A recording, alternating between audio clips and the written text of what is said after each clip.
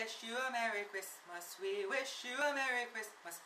We wish you a Merry Christmas and a Happy New Year. Hi, my name is Ian and let's comment about the world. Today I am going to do another segment which is called Only in the Philippines. So a lot of people on Twitter have been noticing that the trending topic, one of the trending topics is Merry Christmas and it's September. Well, August in the USA, but September right now. Okay, it's because it's the start of the Christmas season. In the Philippines, Christmas does not start or end at December 25. It go it starts from September until February of the Three Kings. It's a feast. So, okay, let me this explain why is that. We have the longest Christmas ever. So it starts in September. So we count the ber months, September, October, November, December, as part of the Christmas season. So during that, there are lights and lanterns and Christmas trees being set up all over the Philippines.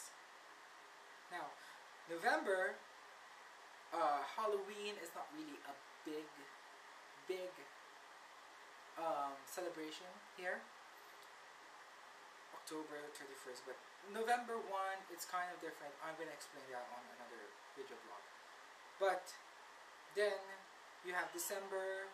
Um, December we have uh, different kind of lanterns, Christmas trees. Um, we do night churches, we're night masses or gatherings at churches because we are a Christian um, country.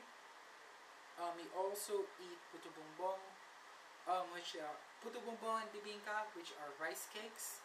I know some, a lot of you people would say rice cakes are a bit disgusting, but seriously, try those kinds of things. They're really tasty.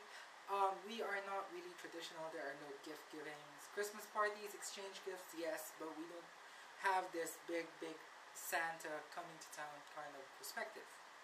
Okay, now after the 25th of December, it's still Christmas.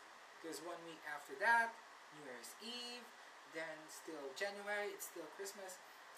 It's still Christmas in January and February, but it is less uh, noticeable um, a lot of malls will still have their Christmas decorations on.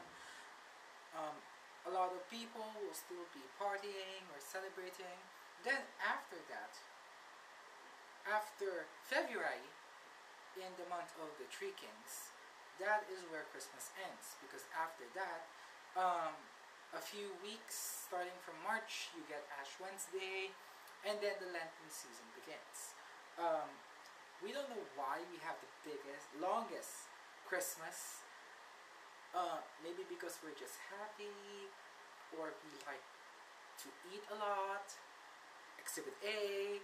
Um, but if you want to spend Christmas